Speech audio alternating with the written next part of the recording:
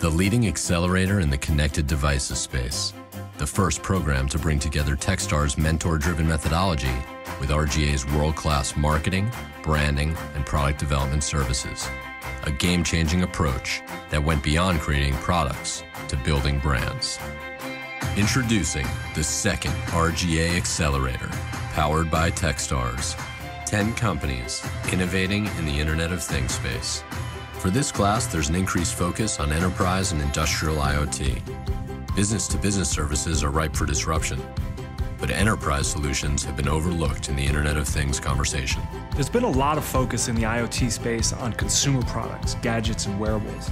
In this class, we're also looking at how software can transform enterprises and industry by applying software, data, hardware innovation, and great user experience design.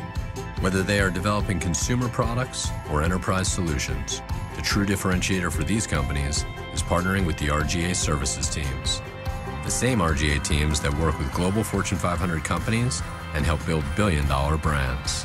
We sat down with each of the companies to better understand what they wanted to accomplish. RGA then put together custom teams from across all departments and capabilities who help the startups with everything from business strategy and branding to visual and experience design to application development. Improving worker safety, protecting agricultural productivity, enabling the growth of a rising drone industry, expanding the world of IoT with mesh networks, creating compelling experiences with ultrasonic smart tones.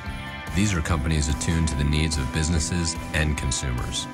Behind them, Techstars, the world's number one accelerator, leading partners in design and product development, and RGA, the company for the connected age.